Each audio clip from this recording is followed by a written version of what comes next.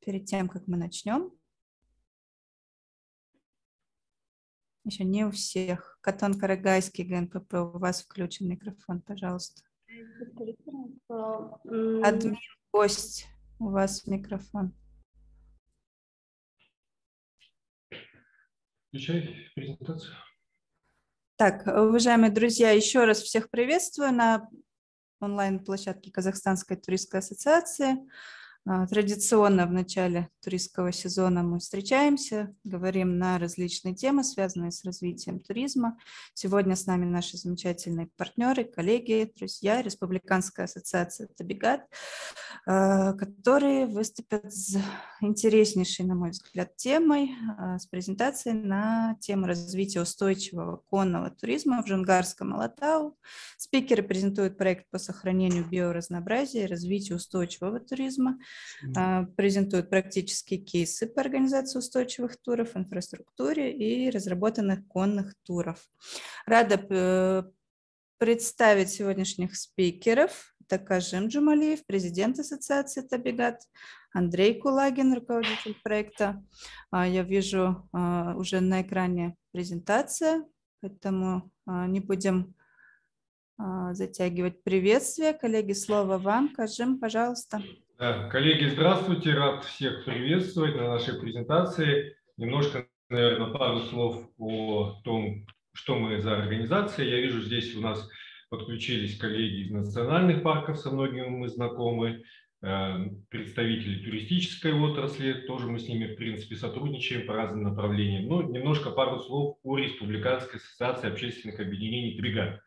Значит, за что отвечает или какие цели стоят перед нашей ассоциацией? Это развитие устойчивого природопользования, это во-первых. Ну, мы защищаем права и интересы охотничьих хозяйств Республики Казахстан и охотников.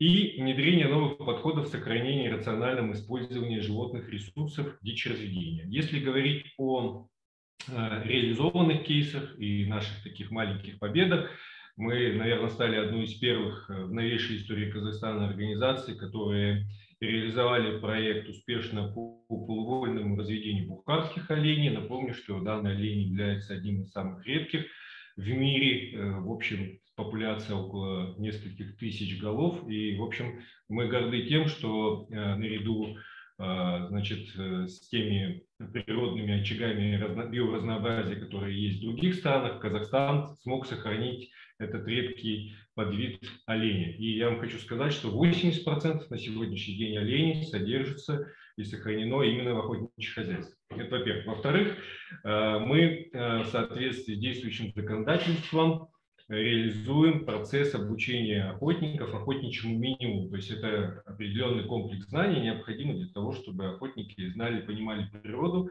вот, и не допускали никаких нарушений. И нами реализован проект и работает электронный портал для обучения охотников единственный в Казахстане. То есть э, любой охотник из любого региона может онлайн подключиться к нашему порталу, пройти обучение, ну и потом впоследствии сдать охотничий минимум для того, чтобы получить охотничий билет. То есть уровень и качество знаний, естественно, гораздо выше, когда человек получает качественные лекции и так далее. А, значит, своей общественной деятельности я являюсь действующим членом Общественного совета Министерства экологии, геологии и природных ресурсов. А, значит, мы дошли до того, чтобы создать партию. В прошлом году нам удалось э, с коллегами создать э, зеленую партию Байтак, да, то есть э, целая политическая сила, и мы, в общем-то, стартовали в этих выборах. В Маджелис, к сожалению, не прошли, но зато восьми регионах попали в Маслихаты, что тоже неплохо, потому что, в общем-то, цели, которые мы преследуем, это устойчивое развитие Казахстана во всех сферах жизни. Ну и главный вопрос, по которому мы сегодня все сегодня собрались, это развитие экологических видов туризма, или, правильно говорят, устойчивого туризма. Мы, э, значит, в связи с тем, что всегда занимались вопросами охотничьего хозяйства были э, тесно связаны с тем, чтобы увеличить доходную часть охотничьих хозяйств, потому что ну, многие не знают, но на самом деле, по большому счету, охотничий сезон очень небольшой, буквально пару месяцев в году.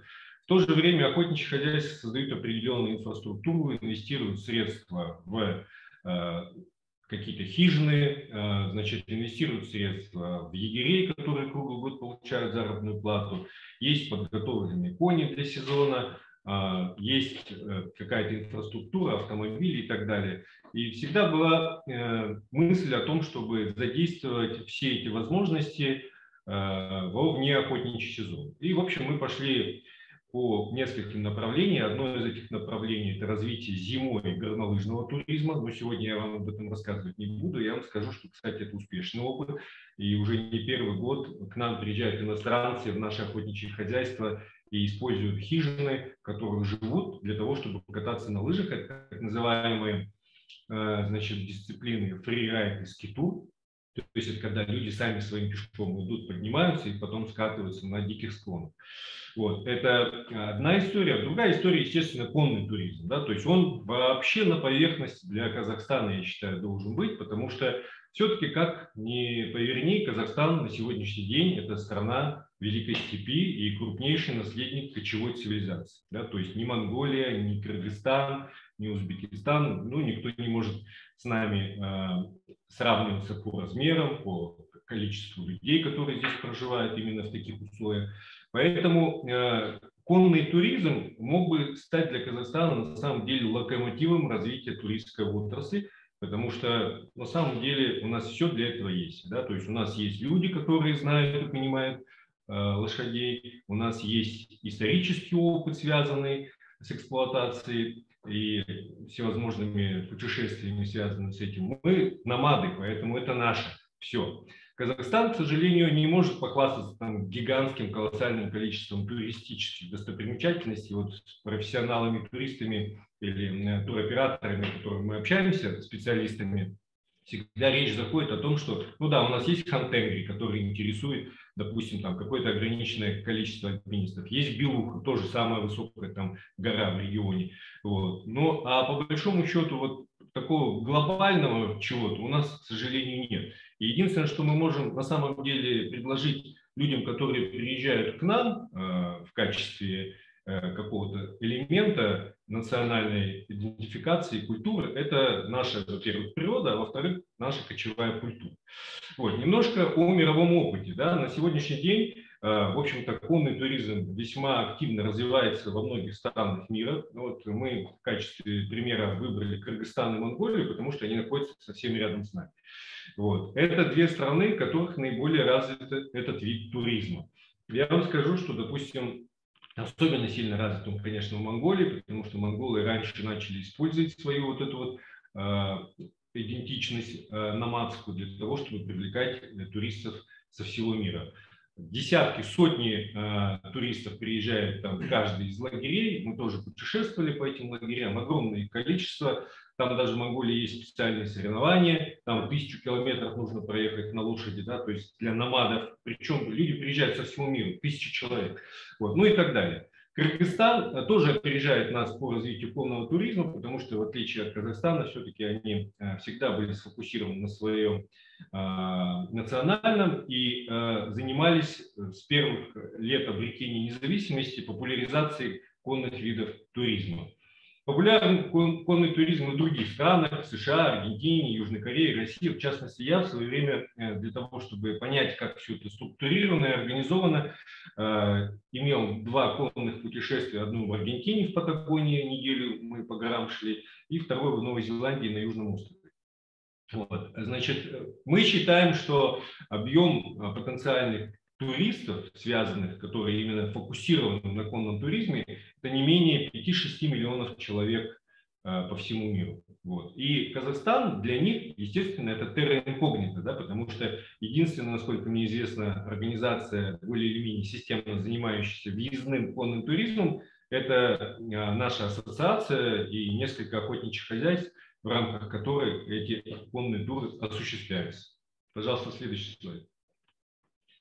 Значит, немножко базы о том, что же такое конный туризм и какие виды конного туризма есть, да, то есть конные прогулки на несколько часов, это наиболее популярный вид туризма, ну и я скажу, что в Алматинской области есть отличный реализованный кейс, это Кульсайские озера, вы знаете, что все, кто э, находится э, в рамках, ну, все, кто имел опыт общения с Кульсайскими озерами, путешествовал там, э, видели, обращали внимание, что местное население очень активно развивает этот вид туризма. Да? То есть это прогулка на несколько часов, ну, в частности, наиболее популярная это прогулка от первого до второго озера назад.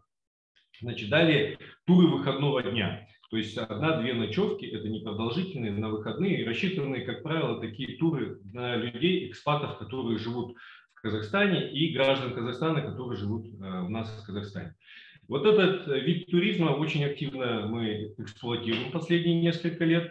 И в рамках наших нескольких э, зон подготовленных есть у нас лагеря, которые дают возможность нам э, подобные туры проводить. Ну и третий вид – это многодневный экспедиционный туризм, который тоже развит и есть на него запрос. Да? То есть есть люди, которые специально путешествуют по миру для того, чтобы найти такую 5, 6, 7, 8-дневную экспедицию на лошадях. Значит, в свое время, в 2019 году, при поддержке Казах Туризм, значит, наша компания проводила экспедицию Кели Казахстан, а, которая проходила на территории а, Алматинского заказника и а, или Алтауского национального парка. Тогда, значит, мы привезли, национальная компания привезла блогеров со всего мира, и, соответственно, 10 дней из 25 человек путешествовало по красивым местам, начинали там а, с Тургеня и закончилось все на Кульсай-Кульдире. То есть два национальных парка, один заказник были задействованы. Я скажу так, что это был очень правильный и положительный опыт, потому что буквально а, сразу же в этом же году за счет того, что была активность блогерская, начали поступать заявки от э, иностранных граждан, от казахстанских граждан, и э, мы начали э, значит, по нескольким направлениям развивать значит, конные экспедиции, конный туризм в Алматинской области. Тут хочется отметить, что запросы бывают разные, и, соответственно, сложность туров и их, так сказать, составляющие они бывают разные. Да? То есть у нас, допустим, был обязательный тур для того, что э, туристы хотели, допустим, участвовать э, в байге, да? то, есть, ну, то есть участвовать в каких-то национальных соревнованиях. Или кокпа, да? то есть мы специально э, в Уйгурском районе организовывали для ребят, которые там приехали из Канады, кокпа, да? то есть они даже там какое-то небольшое участие принимали. То есть, в общем, все индивидуально. Следующий слайд, пожалуйста.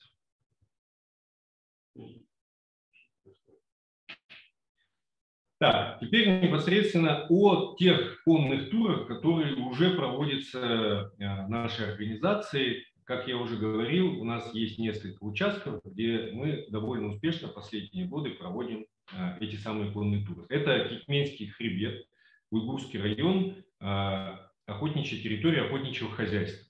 Как я уже говорил, изначально наша цель была подготовить э, такой туристический продукт, который бы позволил охотничьему хозяйству вне сезона зарабатывать какие-то дополнительные средства. Я скажу так, что доходы от э, устойчивого туризма, конного и горнолыжного, в частности в этом охотничьем хозяйстве Дардамты, они сопоставимы с доходом от реализации животных ресурсов.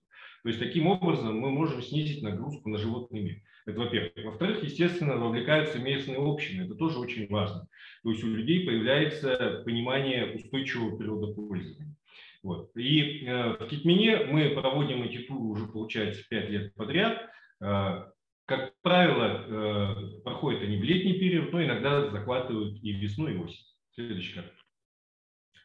Верховье Тургене, а, урочище Батан, это территория Лелотавского национального парка. У нас там есть этноултумар, который мы создали вот как раз в год пандемии для того, чтобы у граждан Казахстана появилась возможность куда-то выезжать.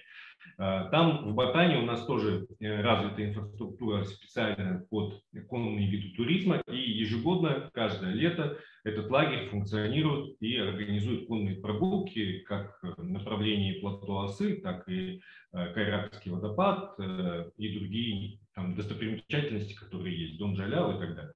Следующий карта. Ну и джунгарский латау. Джунгарский латау – это терра инкогнита, я считаю, что не только для э, Казахстана, но и для всего мира.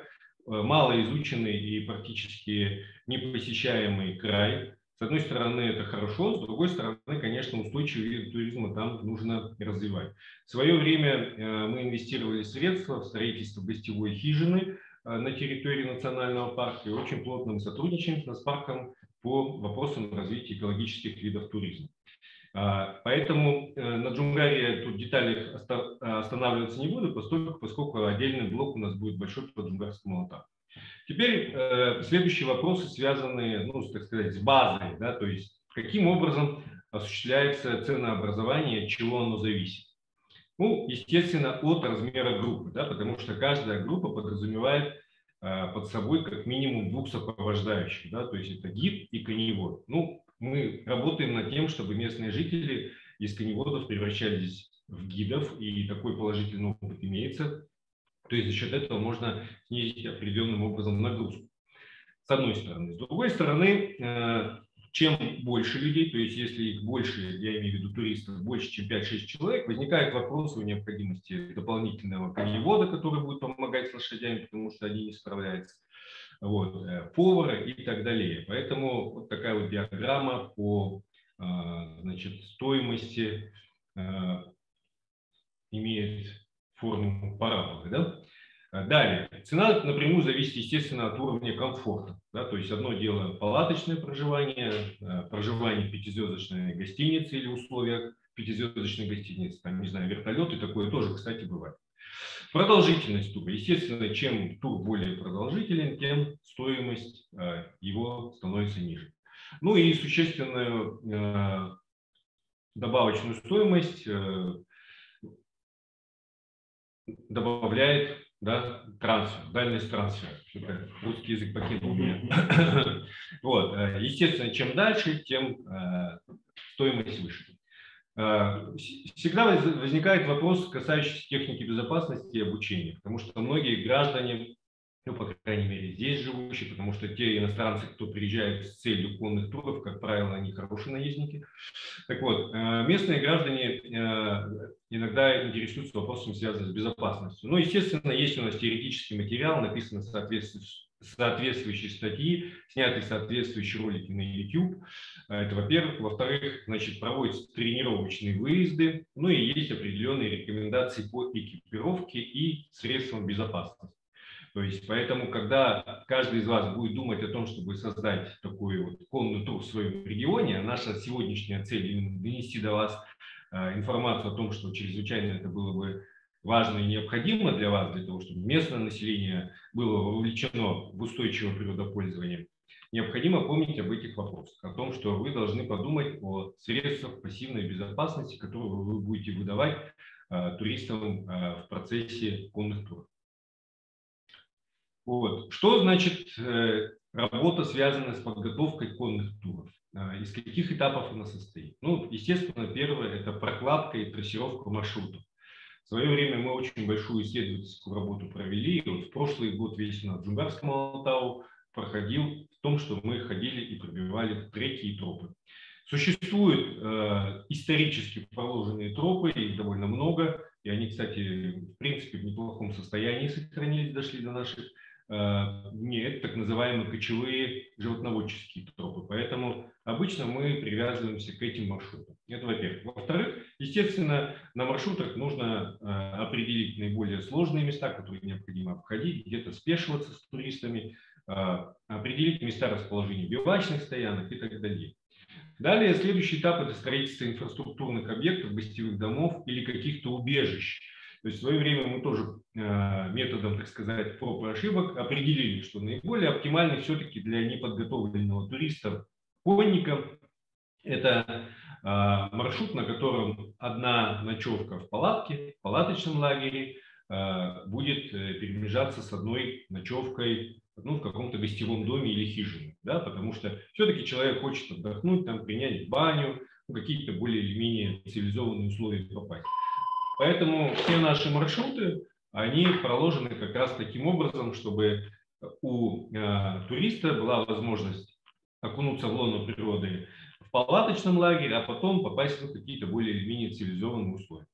Ну и третий момент – это, конечно, подготовка лошадей и конной амуниции. Вот кажется, что это самый простой вопрос, но на самом деле это самый сложный вопрос, потому что э, лошади для конных экспедиций в горах, они имеют определенные э, требования, определенные к ним э, квалификации прилагаются. И мы пошли даже до, до того, чтобы создать собственный воспроизводственный участок. То есть у нас в Уйгурском районе есть э, небольшая ферма, которая занимается производством лошадей под седло, специально для горных условий. И э, несмотря на то, что лошадей кажется очень много, и, кстати говоря, лошадь, по-моему, одна из э, единственная порода сельскохозяйственных животных, численность которых выше сейчас, чем, допустим, в 90-е годы, то есть э, ну, в Советском Союзе, но тем не менее, вот приехать в какой-то населенный пункт и найти, допустим, 5-6 лошадей готовых под седлом, которые можно на несколько дней забрать, практически невозможно. То есть у каждого чебана есть лошадь, на подворье даже, может быть, две лошади, но он их эксплуатирует отдать не может. Поэтому э, вопрос, связанный с подготовкой лошадей, с тем, чтобы они имели особенный темперамент, да, особенную выносливость. Это тоже большой вопрос, которым тоже нужно внимательно заниматься. Я знаю, что вот тут много, я смотрю, э, руководителей национальных парков участвуют. Я помню, еще в 2017 году у меня был, э, была экспедиция по Сайраму-Гамскому национальному, национальному парку. Вот я помню, что у них были прекрасно подготовлены лошади и собственный штат э, коневодов, и там под сотню лошадей, это классно. Следующий слайд, пожалуйста. Вот, собственно, то, что мы хотели рассказать, так сказать, в базе а, о основах конного туризма. Вторая часть доклада будет посвящена совершенно конкретной а, территории, а, на которой в данный момент реализуется проект по развитию устойчивого туризма. Это Житесуйская область, Джунгарский Латау, так еще называют. А, значит, этот грант реализует ассоциация Табигат э, при поддержке Всемирного фонда дикой э, природы и Международного фонда ЦЕП, за что им отдельно большое спасибо. Сейчас мы небольшую, буквально вам видео-презентацию включим, видеоролик, для того, чтобы показать красоту этих мест, потому что я уверен, что 99% а, из участвующих в сегодняшнем зуме там никогда не были. Вот. А, будут проблемы небольшие, будут проблемы небольшие с видео, то есть Zoom, к сожалению, не позволяет качественно очень вам показывать видео, оно будет немножко с такой задержкой легкой, но тем не менее общее представление даст. Помимо этого мы сейчас в комменты отправим ссылку на YouTube для того, чтобы вы смогли а, на YouTube, потом, если кто-то заинтересуется, ну, в более высоком качестве посмотреть. Так, так что сейчас минут, минута на то, чтобы посмотреть ролик, и я продолжу.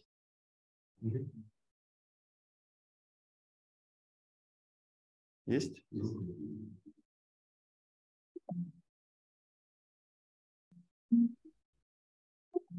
Звука нет, коллеги?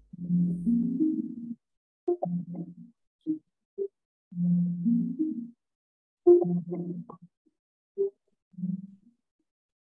you.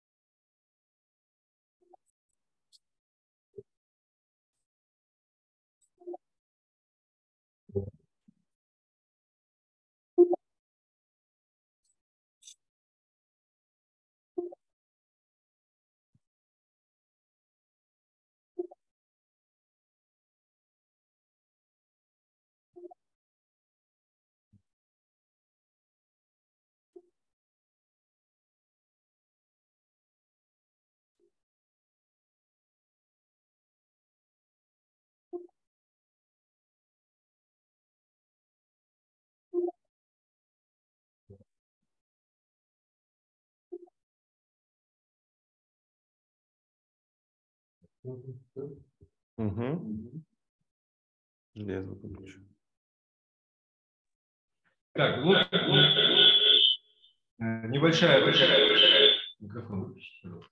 Так, небольшая видеопрезентация. Надеюсь, что что-то вы, какое-то общее представление сложить смогли, потому что на самом деле Zoom, как я уже говорил, не дает э, возможностей демонстрации видео высокого разрешения, поэтому мы сейчас в чат отправим ссылку на YouTube для того, чтобы каждый из вас смог э, ее посмотреть и э, ну, в свободное время подобрать. Значит, э, сейчас у нас отправка происходит как раз с этого видео с головного компьютера, и мы продолжим. Все, следующее. А, значит, о чем речь? Речь идет о том, что наша ассоциация вышла с инициативой по поводу развития устойчивого туризма. У тебя перескочил Джунгарском Алатау, да, сейчас называется Житысуйский Алатау. Нас поддержал партнерский фонд сохранения ключевых территорий биоразнообразия и Всемирный фонд дикой природы. Выделили нам град соответствующий грант. Эм, это первый такой проект, э, потому что он, э, в общем-то, объединяет интересы совершенно разных организаций. Потому что территория, я на следующем слайде вам покажу, э, территория проекта охватывает несколько национальных один национальный парк, несколько заказников, несколько территорий охотничьих хозяйств, да, то есть э, эм, земли резерва. То есть получается это очень разрозненная территория по э, землепользованию среди землепользователей, но э, объединенные общей как бы идеей. Да? То есть, естественно, когда мы проводили согласование, мы значит, получили поддержку и национального парка, и лесхозов, и э, местных акиматов, и охотничьих хозяйств для того, чтобы все это шло в рамках единой концепции. Следующий слайд. Э, ну, как я уже говорил, основная цель – это создать предпосылки для устойчивого природопользования местными общинами, то есть вовлечь местное население э, в развитие экологических видов туризма. Это самое главное. Значит, что мы для этого делаем? Э, там целый огромный фронт работ выполнен. Я сейчас, конечно, не буду сейчас все это вам пересказывать, но коротко скажу, что, в общем, в конце этого пути мы должны получить подготовленных гидов и коневодов в этом регионе, которые будут собраны в один WhatsApp-чат, который будет в открытом доступе и даст возможность любой туристической компании связаться с этими людьми и договориться о проведении соответствующего конного тура по одному из маршрутов, которые мы проложили и создали. Да? То есть есть определенный туристический продукт, о котором я вам расскажу чуть позже. Это очень важно с точки зрения целостности экосистемы, э, экосистемного подхода, то есть местные люди должны понимать э, необходимость устойчивой использования окружающих их природных ресурсов. А, немножко о территории. Как я уже говорил, да, то есть она охватывает э, южную часть Жунгарского и Житусуйского Латау, включает в себя территорию национального парка. Вот большое, большая благодарность за поддержку руководителя, э, директору парка, он тоже у нас здесь на Zoom-конференции. Э, присутствует. В общем, Наспарк нас по, всех, по всем вопросам поддержал. Вот. И мы используем э, проложенные в национальном парке туристические маршруты для как раз того, чтобы частично наши конные туры проходили по этим маршрутам. Как я уже сказал, помогают нам э, охотничьи хозяйства, потому что они тоже заинтересанты.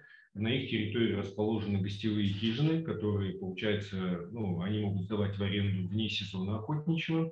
Плюс, помимо всего прочего, они задействуют своих егерей, проводников, гидов, которые тоже, соответственно, получают дополнительный доход, что э, позитивно сказывается на устойчивости всей этой модели.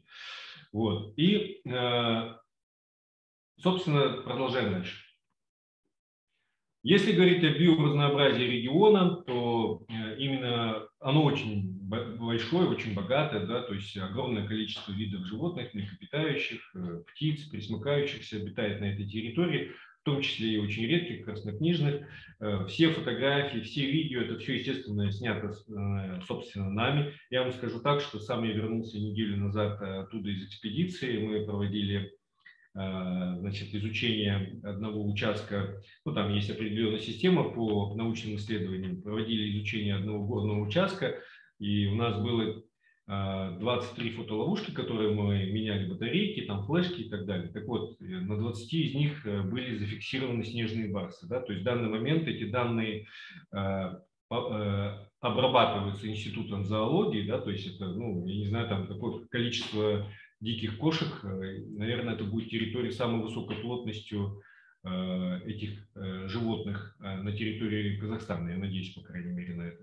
То есть все это говорит о том, что вся эта экосистема стабильна, да, животные ресурсы процветают, вот, ну и наша задача так сказать, сделать эту модель еще более устойчивой. Далее, ландшафты.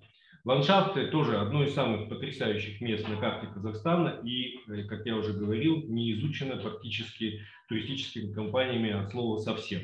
Да, то есть это вот некоторые виды, то есть там есть э, уникальные озера, причем система озер, причем как высокогорные моренные, так и на, находящиеся на более низком еловом поясе. Вот. Э, интересна природа, красиво в любой э, период времени, и весной, и летом, и осенью, поэтому здесь вот тоже мы э, фотографии из разных временных циклов сюда выкладываем.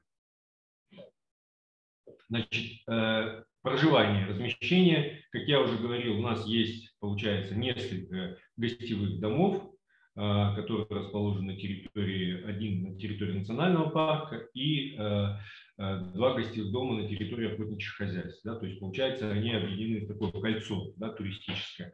Между ними находятся вот такие вот укрытия, да, то есть беседки, мы их называем. То есть, когда сильная непогода, можно э, палатку установить прямо внутри этой беседки или там разместиться на ночлег. Ну и, естественно, это классическое э, палаточное размещение, которое тоже придает определенного колорита всему путешествию. А, вот это уже, собственно, туристический продукт. Э, их, этих туров, может быть какое угодно количество, да, но мы вот сейчас сфокусируемся и расскажем вам о двух наиболее по-нашему интересных. Это затерянный мир Джунгарии долины реки Атавкан, это территория национального парка. А, как я уже говорил, здесь установлен э, и построен несколько лет назад э, гостевой дом для туристических целей. В общем-то, это направление уже не первый год работает, и ежегодно мы привозим туда как граждан Казахстана, так и иностранцев э, в целях э, туризма. В чем примечательность этого места? Особенно оно красиво и интересно в осенний период, потому что здесь идет массовый так называемый гон морала, и у нас даже есть такой специальный тур, называется «Джунгарская рапсодия». Смысл заключается в том, что туристы, которые приезжают, они становятся свидетелями вот этого брачного э, сезона у моралов. Морал – это самый крупный благородный олень в мире. А под, на подробностях останавливаться не буду, потому что я думаю, что э, контакты все наши здесь будут опубликованы. Все, кто заинтересован, обращайтесь, потому что мы специально подготовим э, блог для всех туристических компаний – фотографии высокого разрешения, какие-то видео нарезки для того, чтобы вы могли использовать у себя на э, своих сайтах, на своих, своих пабликах и так далее. Вот. И э, какие-то, ну, какое-то понимание по организации туров, ценообразованию и так далее. Ну, это вот уже непосредственно расписание туров. Еще раз говорю, что это мы для примера сделали, то есть какой тур может быть, Э, наша генеральная задача добиться, чтобы как можно больше туристических компаний заинтересовалось э, экологическим туризмом в этом регионе, и как следствие ну, все это нашло отражение в ваших собственных турах и программах. Значит, второй, второе направление – это система озер Ушколь. Э, мы его назвали «Затерянный мир. Неизведанные озера Джунгарии». Он находится на территории заказника, эти озера находятся. Вот, значит, э, недалеко на территории охотничьего хозяйства есть э, гостевая хижина э, и очень красивые пейзажные места. Я считаю, что, наверное, это самое красивое место, я имею в виду по природе, на территории Казахстана, потому что ну, почти везде я был и скажу, что много что видел, и я думаю, что, наверное, это одно из наиболее интересных мест с точки зрения ландшафта, да, то есть горы, лес, озера, потрясающе. Ну и вот это вот самая наша высокогорная гостевая хижина, она находится почти на высоте 2800 метров, и мы называем ее хижина с видом на миллион долларов. Это действительно так, потому что утром, когда вы открываете окно, да, вы находитесь на верхней точке высокогорного плато, под вами там уходят в разные стороны две долины двух рек. Вот это, конечно, совершенно потрясающе. А, значит, очень высокая численность здесь животных, э, настолько высокая, что даже неподготовленный турист, ну, при наших, условно говоря, гидах, естественно, смогут этих животных зафиксировать, поизучать, посмотреть моралов, козерогов, там, уларов, сурков – ну и иногда попадаются более редкие виды животных, такие как медведи и так далее. Поэтому это место очень интересное. А, плюс его заключается в том, что к нему есть два, две формы подхода, то есть по дороге, ну, на машинах повышенной проходимости и на лошадях. Ну и опять тут расписание тура. Теперь, значит, э, что хотелось сказать, что э, вот этот вот проект по этому гранту у нас э, ну, выходит на финальную, так сказать, финишную прямую. И мы, в общем-то, в этом году должны а, провести инфотур, да, то есть инфотур для представителей туристических компаний, то есть которые захотят попробовать себя и развивать этот вид туризма, конный вид туризма. Инфотур будет проходить в конце мая, начало июня, дополнительно мы сообщим. Вот, и мы, в общем, готовы Э, за собственный счет провести этот инфотур. Ну, э, максимальное количество участников, я имею в виду приглашенных людей, это 5 человек, да, потому что все-таки конный тур э, – это такой не супермасс сегмент, да, вот, поэтому все желающие, пожалуйста, пишите вот в чат заявки. Сейчас Андрей напишет в чат свои контакты и так далее. Андрей – это руководитель нашего проекта, для того, чтобы вы могли связываться. То есть Э, о чем речь? Речь идет о том, чтобы вы в мае выделили 3-4 дня для того, чтобы э, приехать в этот регион и самостоятельно в составе такой конной экспедиции пройти этот маршрут для того, чтобы насладиться красотой, э, оценить, так сказать, всю все богатство нашего Казахстана, вот, ну и потом у каждого из вас появятся какие-то мысли идеи по поводу создания собственных туристических продуктов, или, может быть, вы будете использовать уже готовые. Вот, поэтому welcome, э, добро пожаловать. Угу. Ну вот, собственно, друзья, и все. Я старался максимально коротко, за 40 минут мне дали вот такой тайминг, 40 минут я выдержал, поэтому, э, пожалуйста, задавайте вопросы. Э, я думаю, что э, тут вопросы должны быть, потому что есть представители. Э, так, вот уже тут в чат пошли какие-то дополнительные вопросы. Алина, модерируйте, давайте, вы же у нас высокий специалист по этим вопросам. Друзья, задаем вопрос. Спасибо, спасибо, Кажем, за вашу потрясающую презентацию. Конечно, такие вы нам показали фото и видео материалы шикарнейшие захотелось обязательно посетить этот регион. Коллеги, пожалуйста, у кого есть вопросы, в порядке очереди, можно писать в чат, можно поднимать руку, включать свой микрофон, задавать вопросы. Пожалуйста. Ну, пока коллеги думают, давайте я первый вопрос задам. Давай. Может быть, я, скажем, упустила, но хотелось бы еще раз уточнить. Именно коммерческие продажи этого тура когда планируются? Да, э, значит, коммерческие продажи уже осуществляются. То есть, уже на самом деле, да? все эти туры, о которых я вам рассказывал, и Тургенское направление, mm-hmm. и Уйгурское направление, Кикменского хребта, Уйгурский район – они уже осуществляются. Джунгарское направление тоже мы проводили ежегодно 2-3 экспедиции минимум. Вот. Сейчас задача в том, чтобы сделать это более массовым, да, то есть чтобы не только мы э, занимались организацией подобных туров, но и э, другие туроператоры э, с местными жителями коммуницировать, потому что вот, с вашей ассоциацией совместно мы провели этой зимой обучение по вопросам, связанным с обустройством домов гостевых, да, гостеприимства, подготовка там, э, питания для туристов и так далее. Вот в свое время, я помню, подобную работу вы проводили а, на Кульсайских озерах, да, в Саты, и я помню, очень много скепсиса было по поводу того, что сможет ли местное население справиться и э, организовывать э, подобный вид туризма, но в итоге мы сейчас видим, что там все пышет и процветает, да, то есть Саты стал ну, такой местной туристической дестинацией, очень массовой, очень мощной, и очень много местных ребят включились в развитие устойчивого туризма. Это классно. Поэтому мы надеемся, что и тут такое же будет развитие. Потому что, видите, все-таки там же еще близость Алаколя, да, то есть на Алаколе огромное количество э, сейчас туристических пансионатов. Вот человек приезжает, вот я помню в советское время, кто ездил на Иссыкуль, да, вот мы все приезжали на Иссыкуль, там, ну, лежишь там на, на море один день, два дня, там, три дня, а потом идешь, и там около столовой висит плакат, да, поездка Григорьевское ущелье, Семеновское ущелье, да, и идешь, записываешься в группу, тебя вывозят в город. То же самое должно и здесь случиться. То есть поэтому мы этот вопрос и подняли. То есть человек приехал отдыхать на море, но он там неделю с ума сойдет просто лежать на пляже. Поэтому э, при, так сказать, грамотной коммуникации можно на полдня выехать, можно на день выехать, можно с одной ночевкой выехать. То есть выехать с моря в горы, да, то есть где не просто красиво, а то есть там фантастические по красоте места, лучшие в Казахстане.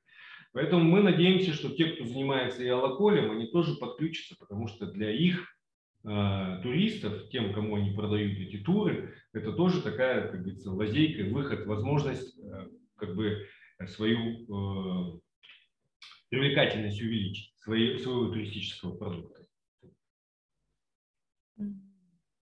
Так что все работает, можно обращаться. Супер. А скажите, пожалуйста, вот вы в местах размещения, которые на Алаколе как-то, не знаю, оставляете ли буклетики да. или какие-то визиточки? Ну, у нас же, видите, все идет по плану, да, то есть у нас есть четкий план, согласованный с нашими э, грантодателями. В соответствии с этим планом, э, после того, как мы э, разработаем туристические продукты, проведем презентацию для туроператоров, э, представителей национальных парков, мы эту информацию будем дальше передавать уже непосредственно э, там на Локоле э, в пансионат. Да? То есть у нас запланирован на апрель выезд на эту территорию для того, чтобы встретиться со всеми руководителями этих пансионатов, ну и соответствующие данные нужны, там какие-то рекламные модули и так далее. То есть эта работа у нас на апрель месяц стоит э, в плане. Вот поэтому это, да, тоже предусмотрено. Угу. Ну, то есть, вот... правильно я понимаю, что к вам могут обратиться как индивидуальные туристы, так и туроператоры? Все верно.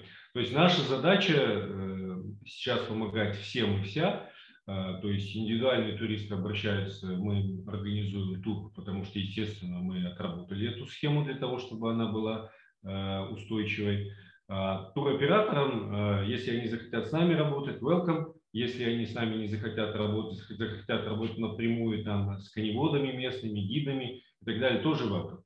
То есть мы передаем все данные, вы связываетесь, выстраиваете с ними взаимоотношения и так далее. Наша задача, так сказать, осуществлять вот эту вот connection. А, что еще важно? Вот, кстати, тоже для гидов, может быть, здесь, э, я смотрю, участников много, может быть, гиды слушают нас. Значит, у нас есть отдельное предложение для гидов и отдельная WhatsApp-группа для гидов.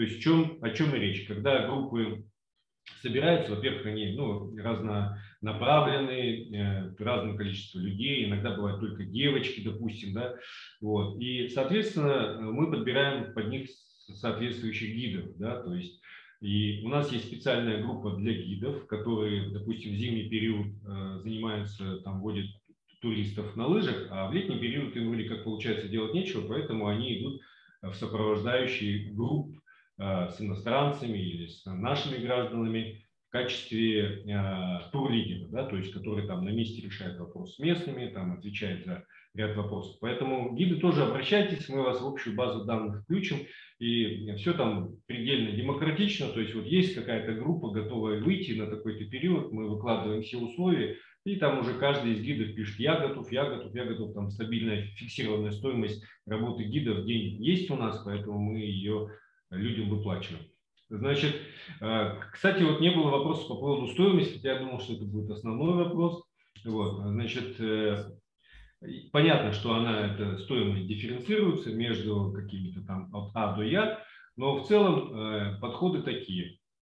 Мы проводим туры, ну здесь поблизости с Алматой, рядом с Алматой, в Тургене, например, из расчета от, условно, 45 тысяч тенге Э, в день с человека по принципу все включено, да, то есть питание, проживание, ну абсолютно все.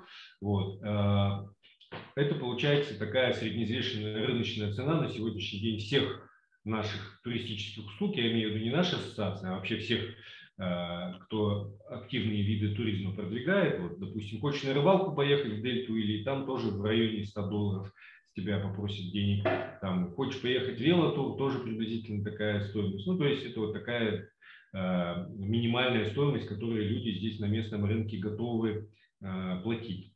Если говорить о иностранцах, то, конечно, мы стараемся продавать эти туры э, существенно дороже, да, потому что платежеспособный спрос там выше, ну и требования, предъявляемые к иностранцам, выше, потому что там уже гид должен быть обязательно англоговорящий, и там вопросы, связанные с питанием э, чуть должны быть более внимательно изучены и так далее. Поэтому вот приблизительно вилка такая, условно от 100 до 200 долларов в зависимости от потребности. Ну, конечно, если люди заказывают черную икру и вертолет, это там уже другая совсем цена. Такое тоже, кстати, бывает. И, кстати, вот э, нам прилетали э, Ротшильды, не знаю, могу об этом говорить или нет, но они прилетали в Казахстан сюда, вот, и мы проводили для них такой этнотур, строили целый этноаул, то есть там был целый сценарий, что они едут по горам и тут видят аул, в этом ауле живут беркучи, ну как будто бы это в смысле знал только, естественно, организатор, а гости не знали, а это типа как сценарий был, да. То есть и все это мы реализовывали, все это было возможно, поэтому любой сложности мы э, туры проводим, э, помогаем проводить и призываем всех включиться в это супер интересное направление, которое имеет нашу такую казахстанскую, казахскую изюминку. Да? То есть вот конный тур, мы своих как-то вот чебанов немножко стесняемся, боимся для коневодов наших. Да? А вот, допустим, я в Аргентину ездил, да, Гаучу, там вся страна живет под знаком Гаучу, да, то есть рестораны Гаучу, магазины Гаучу, мода а-ля Гаучу. Гаучу это по их, э, на их языке чебан, да, или пастух. Вот. И э, они сделали это таким, наоборот, элементом, который привлекает туристов со всего мира. А мы вот этого как-то сторонимся. Хотя наша, э, так сказать, культура кочевников, вот что должно привлекать сюда иностранцев. Однозначно, да. А скажите еще такой момент. Вот э, для туристов есть ли какие-то не знаю, требования, то есть специальная подготовка, может быть, физическая подготовка, либо какие-то ограничения, может быть, по возрасту или ага. по ну, а, состоянию есть... здоровья, не да, знаю. Я понимаю, да. Да. Ну, наверное, это ограничения такие, которые э, человек сам для себя должен устанавливать. Да? То есть я скажу так, что у нас были туристы весом и 120, и 130 килограмм. Вот. Это, конечно, не есть хорошо. То есть мы это не очень приветствуем, потому что это сверхнагрузка на лошадей. Вот. Но почему э, конный туризм, я считаю, имеет больше перспектив, допустим, чем даже пеший туризм здесь в Казахстане? Потому что он э, доступен большему количеству людей. То есть фактически любой среднеизвешенный человек со среднеизвешенными, условно, своими медицинскими, физическими возможностями совершенно спокойно справится э, значит, с управлением лошадью. Кроме того, я скажу, что есть же еще такая вещь, как генетическая память, Хоть большинство горожан никогда на лошадях не ездили, но когда в седло садятся, вдруг оказываются они великолепные наездники. Вот, поэтому, э, в принципе, это доступный вид туризма. Да, мы говорим о том, что доступный. Конечно, если вы там едва ходите, у вас там комплекс заболеваний, связанных там, с сердечно-сосудистой системой, еще чем-то, то, конечно, лучше вам туда и не надо. Вот. Но для человека, ведущего здоровый образ жизни, это вполне а, адекватная нагрузка. Угу. Спасибо. Ну и перед тем, как мы перейдем к сообщениям в чате, которых, я смотрю, уже накопилось угу. достаточно много, еще один момент, э, связанный с тем, э, что хотелось бы уточнить. Э, такой момент. А есть ли какая-то вариативность? Может быть, опять же, я упустила. То есть, например, вы э, на слайде представили пятидневный тур, но вот отдыхающий на Алаколе, он, например, а, может быть, пять дней всего да, на Алаколе находится. И, может да, быть, ему конечно. там интересно, была бы однодневная, например, или двухдневная, там какая-то короткая достаточно программа. Естественно, мы сейчас же тут, не, наша цель не показывать там все возможности, которые есть, и все продукты, которые разработаны. Их там, не знаю, несколько десятков, просто у нас на все на это времени не хватит. А, любые возможности, вплоть до того, что если говорить об Алаколе, мы специально для того, чтобы подвоз осуществлять к этой гостевой хижине, которая у нас э, с видом на миллион долларов, да, то есть мы даже специально построили на базе ГАЗ-66 автобус повышенной проходимости. То есть для того, чтобы там очень сложная дорога, не любой джип сможет подняться.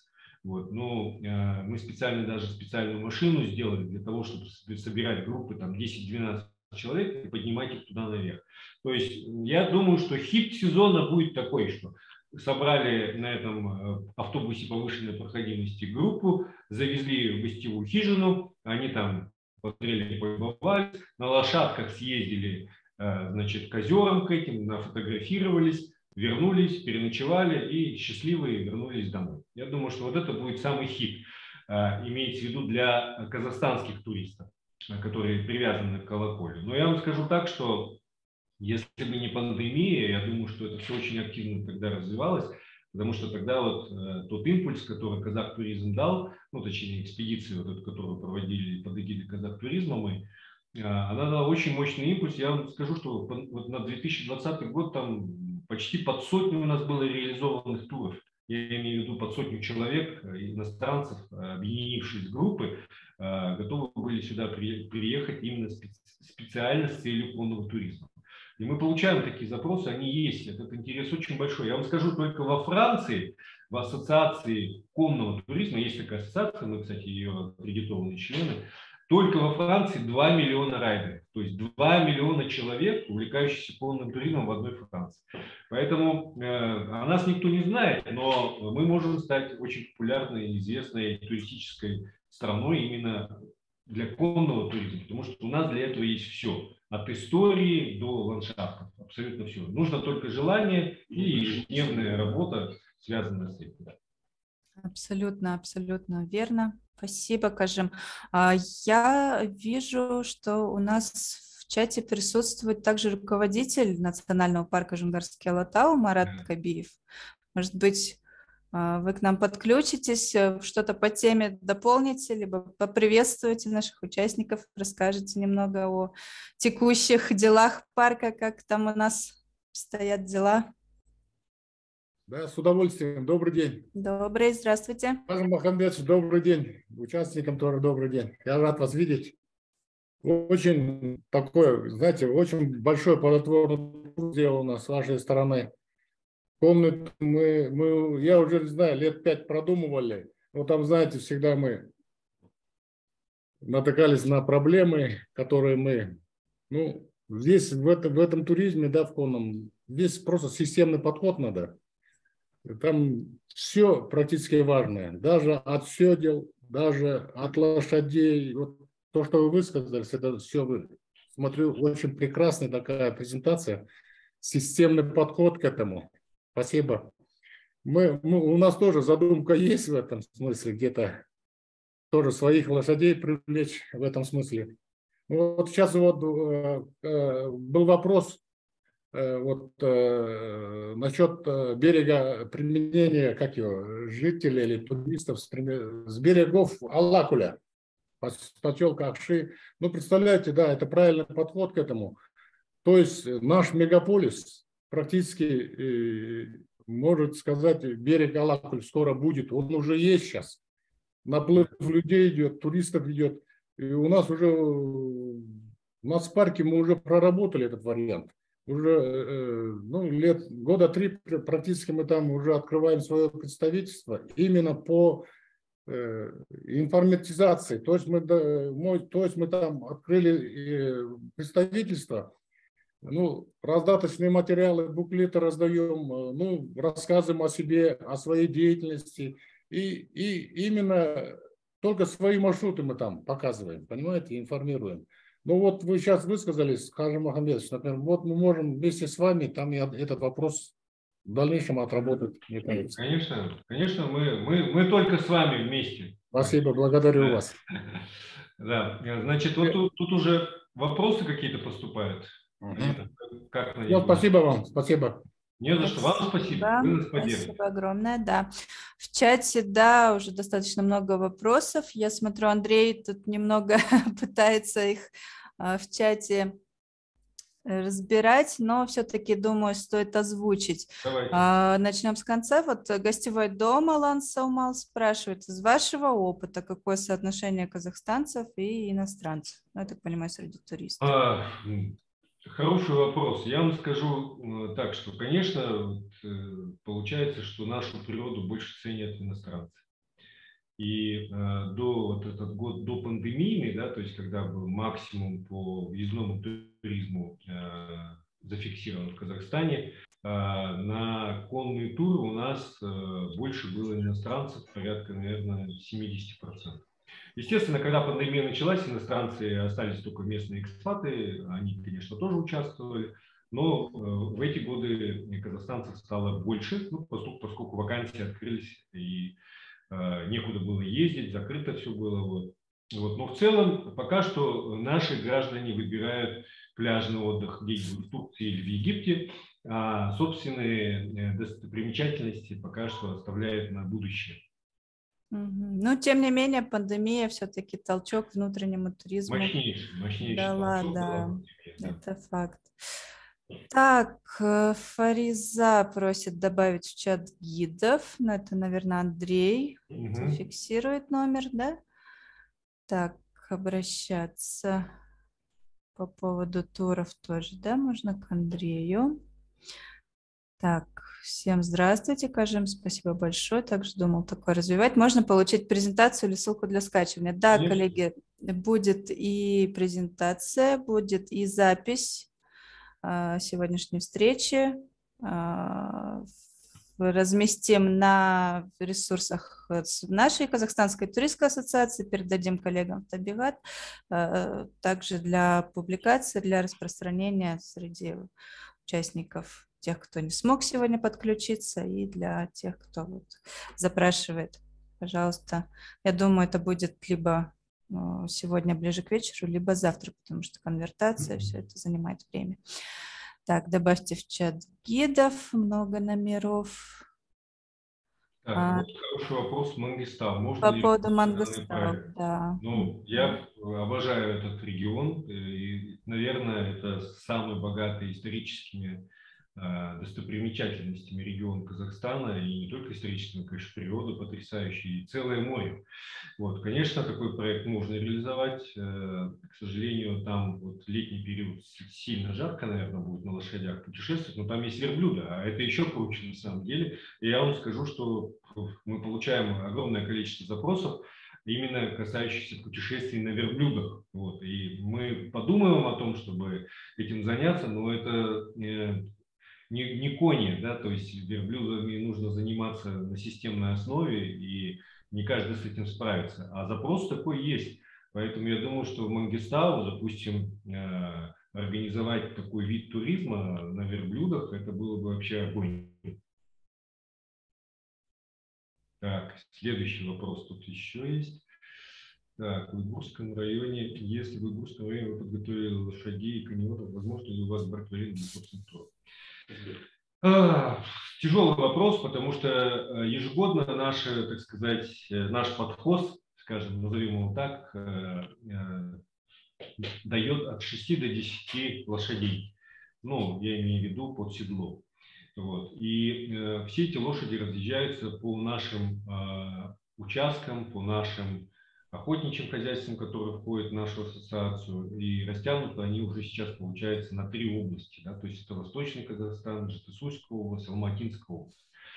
И э, возить их за тысячу километров, допустим, э, откуда-то там из Джунгарского Ватала, условно говоря, там, вот я вижу, что это Валиев вопрос э, задает э, Федерация Альпинизма это. Альпинизма, это Казбек, Казбек Валид задает вопрос. Да, далеко в Каркару возить, далеко возить в Каркару этих лошадей, то есть невыгодно, то есть с точки зрения вот именно вот этого плеча это тяжело будет. Хотя, в принципе, конечно, мы думали об этом, и однажды мы возили, ну, собирали сюда лошадей для проведения как раз вот экспедиции, которая э, шла под эгидой э, казах туризма. Там мы собрали 18 лошадей, по-моему, если не память не изменяет, э, ну, из наших разных участков для того, чтобы в одном месте из Тургенева стартовать. Вот. Так, дальше. Пограничный режим. Никаких проблем у нас с пограничным режимом нет. То есть, вы знаете, сейчас э, заявка на получение пропуска как для иностранцев, так и для граждан Казахстана осуществляется онлайн. Кстати говоря, мы непосредственно приложили к этому руку. Вот, и э, в соответствии с действующим законодательством граждане Казахстана там уведомительным порядком э, попадают на эту территорию. Поэтому проблем нет ни с иностранцами, ни с казахстанцами. И, кстати, отдельное спасибо погранслужбе, которая ну, как бы понимает, что необходимо развивать устойчивый туризм и поддерживать нас. Так, можно ли организовать тур, используя своих лошадей и своих клиентов? Конечно, ради бога, пожалуйста, горы, они, э, как говорится, национальное достояние, поэтому, пожалуйста, привозите своих лошадей, привозите своих так, клиентов. Это возможно. Вот. Ну, если говорить о, о том, чтобы попасть на территорию национального парка, тут, естественно, нужно будет согласовывать с национальным парком, но проектная территория, она на самом деле всего лишь там на 15% национальный парк, а 85% это земли запаса, поэтому, пожалуйста, это возможно. Так. Джумалиев контакт представитель, да, да, Сель, вот э, сейчас Андрей пишет контакты наши, а уже написали, да? Так, дальше. Так, а вот э, от Лизы вопрос в отношении иностранцев. Каким образом привлекать иностранцев? Ну, во-первых, есть у нас паблики, которые мы в соответствии э, с обязательствами ведем. Я, я имею в виду Инстаграм, Фейсбук, YouTube. Помимо всего прочего, э, мы участвуем постоянно, на постоянной основе в международных выставках. В частности, две недели назад Андрей у нас вернулся из Берлина, где значит, как раз показывал на выставке туристической этот продукт конный турист Джунгарскому Алтау. Вот. Ну, естественно, есть еще другие туроператоры, которые имеют партнеров по всему миру. Они привлекают иностранных туристов. Поэтому, в принципе, это отлаженный механизм. Получается, наше участие на минимум двух выставках самостоятельно за рубежом, я имею в виду наши как ассоциации. Вот. Ну и плюс дополнительно туроператоры, которые здесь в Казахстане работают. Так, Подскажите, дата инфатура, это ответили, здорово, так, так, так. Связь, связь, связь. Угу. Шикарный тур, очень красивый. тур, А, да, ажар. Значит, по поводу пеших туров. Естественно, все есть. Э, то есть э, мы можем вас довести э, на машине, вы сами можете доехать. Вы сами можете доехать туда на машине, если у вас есть подходящая машина. Вот. Э, организую вам гида, который будет вас пешком водить на вот эти озера, э, и утром будете ходить на наблюдение дикой природы, наблюдать за моралами, козерогами, все что угодно. Поэтому э, там, где лошадь пройдет, естественно, человек тоже совершенно спокойно пройдет. Вот, друзья, коллеги, еще вопросы есть? Добрый день. Мне не вопрос, у меня как объявление. Да. Я бы хотел все, все а? да, чтобы все выслушали, что мы здесь вопрос забыли о рекреационной нагрузке. То есть, э, то есть э, у нас на Тапкан э, разработан паспорт, открыт маршрут туристический. И, можно сказать, туда сезон где-то месяца два-три, да? Максимально три месяца. И за, за эти три месяца только 1300 человек запускаем максимально. Но это, конечно, не этот, он у нас разработан паспорт уже лет пять назад, можно этот посмотреть. Но э, по презентации вы видели, что Атапкан это наиболее, наиболее богат животным и растительным миром. Так что там надо учитывать и фактор беспокойства. Это, это моя прямая обязанность это соблюдать. Так что э, с этим вопросом Кажем Ахамдеш мы, по-моему, отдельно посидим Да, да. Да. Решим, Там да? вот, э, э, значит, мы же рассматривали тоже вопросы, связанные с регуляционной нагрузкой. Да, да, Мы каждый маршрут, там, по-моему, 80-100 человек на год делали. Да, да. Поэтому мы еще, еще больше снизили этот порог, потому что, ну, понятно, что дикую природу надо сохранять и всеми способами для того, чтобы там проходного двора не было. Все, спасибо за внимание. Еще вопросы? пожалуйста? Спасибо. Важная информация. Просьба принять к сведению да, туроператорам, гидам, кто планирует сотрудничество, учесть рекреационную нагрузку. Так, есть еще вопросы. Просьба от Махабад повторить некоторую информацию, но я предлагаю сделать следующим образом, чтобы не отнимать время у, у, участников, так как вы пропустили начало, мы, как я уже говорила, вышлем вам запись, вы ее сможете посмотреть, и если останутся вопросы уже к Андрею или к Кажиму обратиться персонально, телефонные в чате указаны, и уточнить то, что будет, э, может быть, еще непонятно. Коллеги, пожалуйста, если кто-то еще что-то хочет уточнить, Да, Махаббат, я написал вот, э, сообщение вам, э, свой, свой номер для того, чтобы вы смогли э, мне позвонить после презентации. Если какие-то вопросы будут, я вам расскажу. Пожалуйста, коллеги, еще. Если вопросов нет, тогда я предлагаю завершать. Да, большое спасибо за внимание, за то, что вы потратили свое время. Надеюсь, было интересно. Наша генеральная цель э, – это развитие конного туризма по всему Казахстану, поэтому вот я вижу, что подключились э, представители национальных парков по всей стране, это классно. Вот. э, Если будут вопросы, задавайте, потому что мы этот проект делаем только для того, чтобы развивать устойчивый туризм по всей стране. Всем спасибо. Спасибо, Кажим, спасибо, Андрей. Э, Я желаю вам удачи, успехов в вашем проекте. Пусть все сложится, пусть это Спасибо. действительно поможет нам развить туризм в Жангарском Алатау. А, Мы, как Казахстанская туристская ассоциация, готовы посильно поддерживать, сотрудничать с вами, помогать в информационной, может быть, какой-то э, информационном поле по работе с привлечением туроператоров и так далее, всех заинтересованных стейкхолдеров, которые могут помочь в продвижении этого продукта. Спасибо всем участникам за то, что нашли время. Да, Равшан? Шамилев, Здравствуйте, я поздно здравствуйте. Да, пожалуйста, Можно Андрей, телефон повторите телефон? Пожалуйста. Да-да, Спасибо, просто я в самом деле очень занята была и поздно подключилась.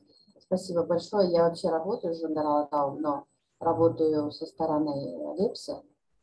Меня ребята знают уже. Мне просто хотелось бы, ребят, телефон взять, ну, как бы объединить, как-то посмотреть, какие у вас туры. хорошо. Спасибо. Раушан, я написал вот сейчас в чате э, 500 0404, 701 500 0404, это мой номер. Пожалуйста, все желающие э, записывайте номер, Нет, нет, связывайтесь. еще раз напишите, я поздно подключилась. Спасибо.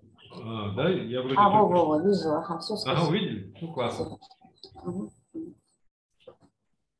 Спасибо большое всем.